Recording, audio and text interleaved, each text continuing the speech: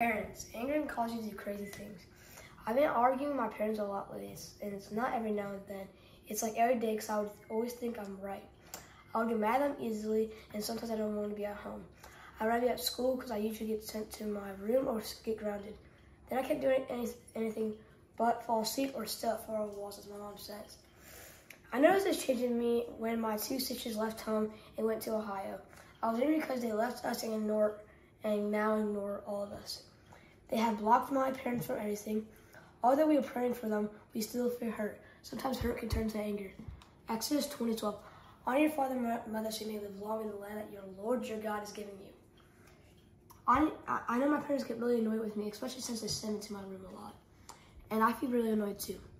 I should start praying for that help, for help in that area. I should ask for forgiveness and repent. Jesus says, but I tell you, don't be angry with anyone. If you are angry with others, you will be judged. And if you insult someone, the highest court will judge you.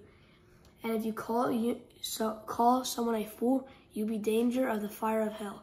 Make every effort to keep the unity of the spirit through the bond of peace. Proverbs 19:11. Good sense makes one slow to anger and is going to overlook an offense. 1 Samuel 21:6. And thus shall greet him, peace be to you, and peace be to your house, and peace be to all that you have. Let's pray. Dear God, sometimes I imagine you are up there in heaven, thinking, how many times do I have to tell him slash her? Please forgive me my lack of diligence in the following of your directions.